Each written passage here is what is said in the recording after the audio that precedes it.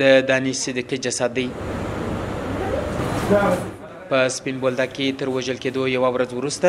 د هغه جسد د کندهار میرویس روغتون ته انتقال سو د روغتون مشر وایي د صدیقي جسد د ژورو ټپونو له امله په ډېرې سختۍ سره د عدلي طب په مرسته وپېژندل سو چې بیا دلی مسولین دغه شواهدو دغه خپل د جسد د څه توکي چې ورسره پاته وو د هغه په هغه په اساس یې پېژندګلوي وسوله نور د پېژندلو وړ نه وو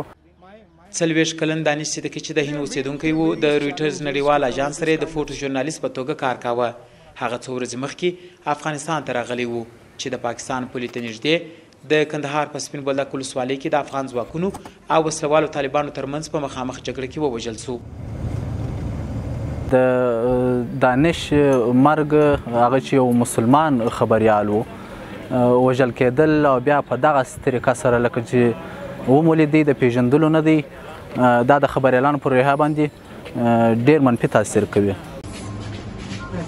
ټاکل شوې چې د دانش صدیقي جسد د افغان هوایي ځواکونو لخوا کابل ته انتقال او تر هغه وروسته هند ته ولېږدول شي. تر اوسه د دې پېښې مسوولیت چا نه دی منلی. د کندهار خبریالان د جګړې له ښکېلو خواوو غوښتنه کوي چې د ملکي کسانو په خاص ډول خبریالانو ژوند ته خطر پېښ نه کړي. ښکېلې غاړي باید د جګړې پر مهال د خبریالانو ژوند ته پام وکړي، ځکه خبریالان هغه کسان دي چې یوازې غواړي